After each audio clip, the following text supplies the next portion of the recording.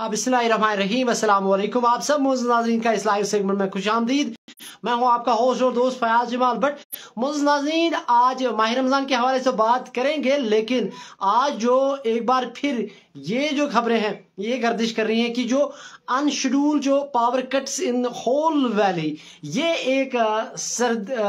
ये जो है ना सर का दर्द बन चुका है और इसमें बहुत सारे लोग जो है काफ़ी परेशान है और नाला भी हैं लोग सरकार से और खासकर मुतलका महकमा पीडीडी के हवाले से बात करें, क्योंकि शहरी और इफ्तियारी में बिजली कहीं पे भी दस्तियाब नहीं है। और आज भी मुख्त इलाकों से हमने फ़ोन कॉल रिसीव किया और यही सुनाई दिया गया कि जनाब आज भी बिजली न शहरी में है और ना इफ्तियारी में और बता दें आपको कि मुख्तलिफ़ इलाकों से जो फ़ोन कॉल्स हमने रिसीव किए तो उनमें उन्होंने यही बताया कि जनाब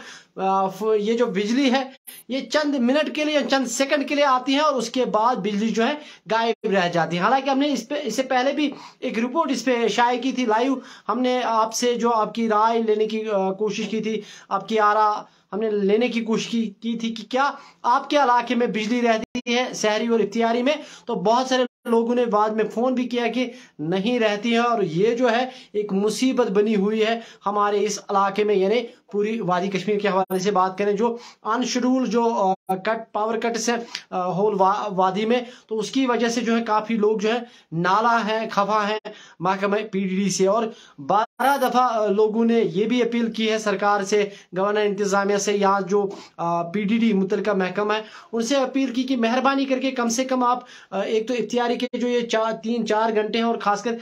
शहरी के जो दो तीन घंटे हैं इसमें अगर आप हमें बिजली अच्छी तरीके से मुहैया करेंगे तो आपका भी भला होगा और हमारा तो हो, होगा ही उससे। लेकिन उसके साथ साथ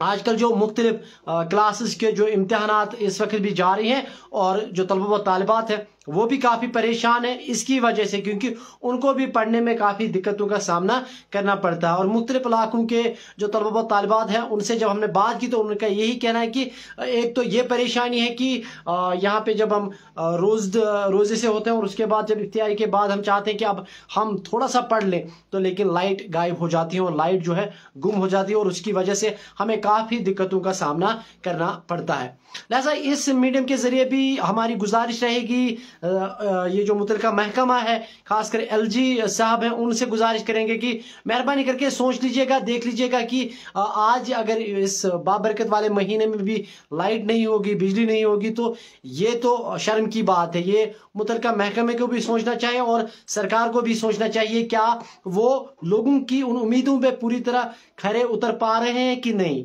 तो यहाँ पे लोग जो है, ये काफ़ी नाला है, काफ़ी परेशान है और साफ़ ये जो है, तनकीद का निशाना महकमे को बनाते हैं और बार बार यही शिकायतें, हालाँकि विंटर में भी आया करती थी कि विंटर में भी बिजली जो है नहीं रहती हैं और जो